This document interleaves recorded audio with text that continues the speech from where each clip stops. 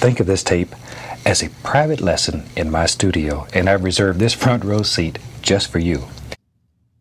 The cross is a lighthouse. I don't know. Um, when Donnie took the microphone off, It's macrame.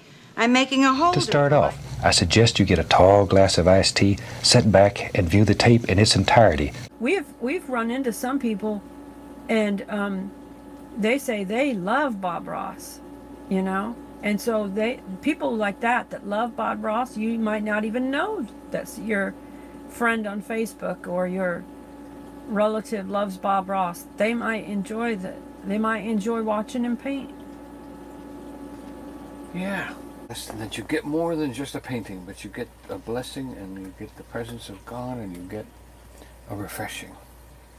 Jimmy said he had to work. Yeah. the uh, paints, a little toward the paints, where your hand to the left. Yeah, a little more. There. Now it's all the way in. And I, I look forward to painting with you again on other instructional videos. And until then, from all of us here, happy painting and God bless. Being here, remember, we love you, but Jesus loves you more. And even though our time together stops right now, He in His presence never stops being with you. Amen, amen, amen.